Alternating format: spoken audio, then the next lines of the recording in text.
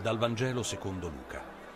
In quel tempo Gesù disse ai suoi discepoli, è inevitabile che vengano scandali, ma guai a colui a causa del quale vengono.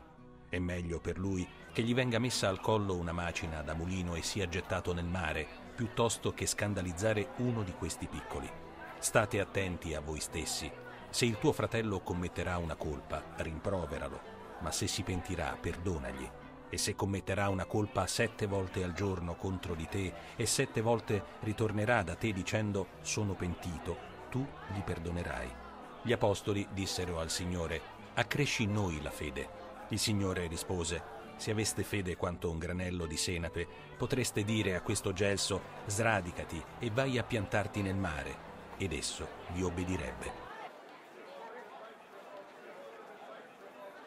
Il seme della senape è piccolissimo, però Gesù dice che basta avere una fede così piccola, ma vera, sincera, per fare cose umanamente impossibili, impensabili. Ed è vero, tutti conosciamo persone semplici, umili, ma con una fede fortissima, che davvero spostano le montagne.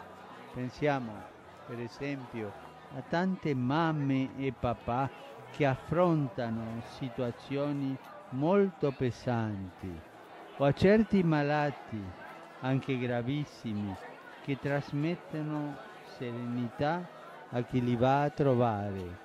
Quanta gente fra noi ha questa fede forte, umile e che fa tanto bene.